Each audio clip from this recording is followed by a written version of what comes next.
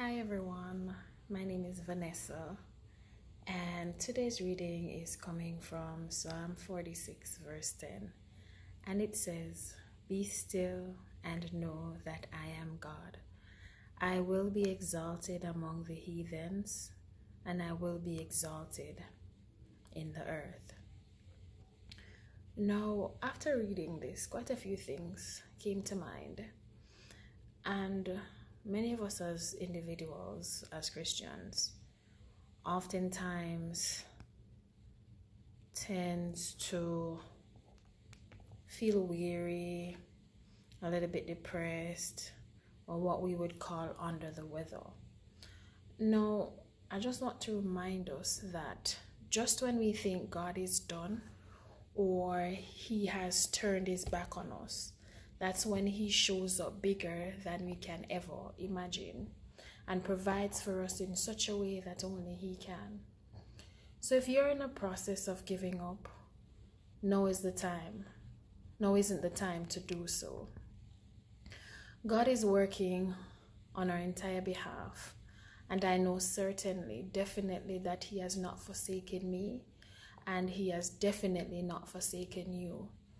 Now, there is purpose in our pain, and He's using our pain, my pain, your pain, our pain, in order to elevate us as individuals and as to elevate us as Christians.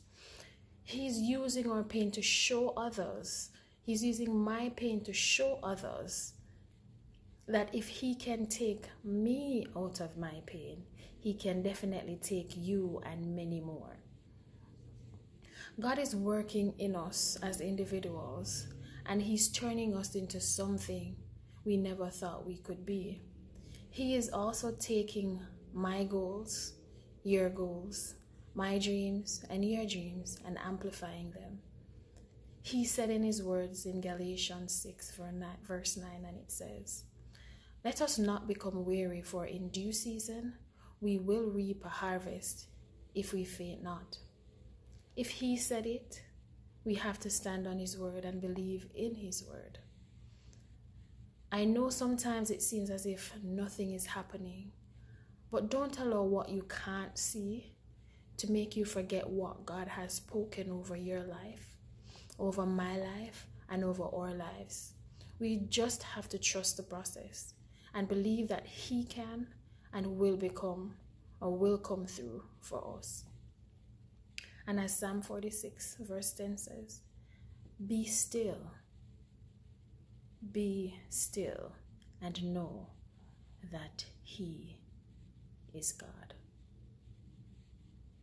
And I want to welcome, I want to invite you, your friends, your family members out to our Youth Sunday, which is this coming Sunday at Jesus House, Kingston, which is at 3 McGregor, McGregor Square.